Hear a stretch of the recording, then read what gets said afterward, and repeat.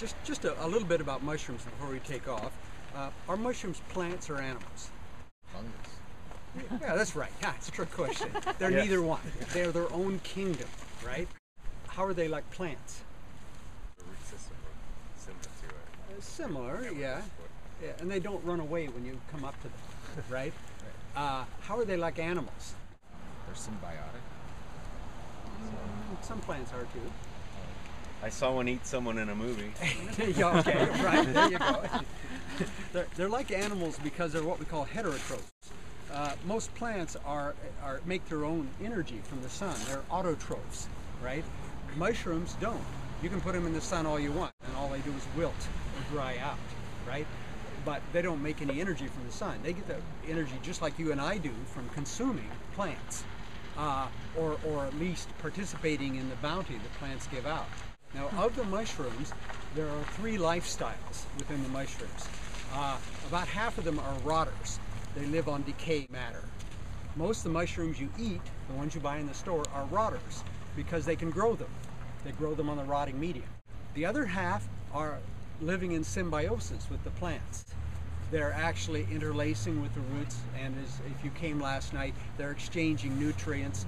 And a lot of the mushrooms that you have right here in Vancouver are these symbiotic mushrooms. We call them mycorrhizal. And then there are a few mushrooms that are just plain parasitic. They're just out to get what they can and they kill their host.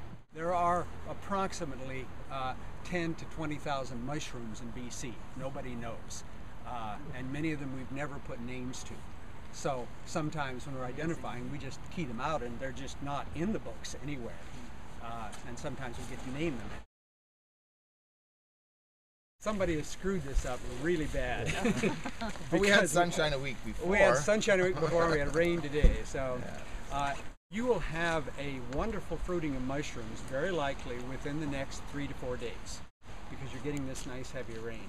But they're really dependent on rain, and that's why some of the mushrooms you see today are going to be old mushrooms that are come and dried up.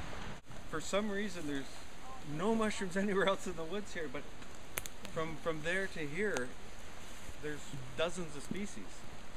right now. There's about a thousand different Cortinariuses. Um, and again, you'll find most people who do mushrooms a lot can only identify maybe a dozen of them reliably, and the rest of them require some sort of text and sometimes laboratory equipment to know for sure. Big variety. The, distinguishing characteristic is almost all mushrooms, when they come up, the cap is up against the stem. And as they open up, there's a veil. Sometimes that veil disappears, sometimes it remains as a ring around the mushrooms, in the case of Amanita. But, in the, but Cortinarius, the veil is, is cobwebby, it's very fine. And as it opens up, uh, it disappears, except the cobweb will fall back along the stem and uh, uh, create little reticulations here. Uh, but that's what defines it as a Cortinarius. This is a s one of the spine mushrooms. Look underneath. It's all a bunch of tiny spines. I've tried these before. I, I've never liked them. I found them too bitter. But it could be just how they're cooked. Uh, yeah, they, they get huge and, and big clusters. There's so many good mushrooms that I I tend to now just leave them, and they're one of the most beautiful mushrooms. Yeah, they are. It's lactarius, and that word comes from the word milk. And these are called milk caps, and they almost all, when they're young, bleed a sap when you score the um, gills or cut them open. This one's too old.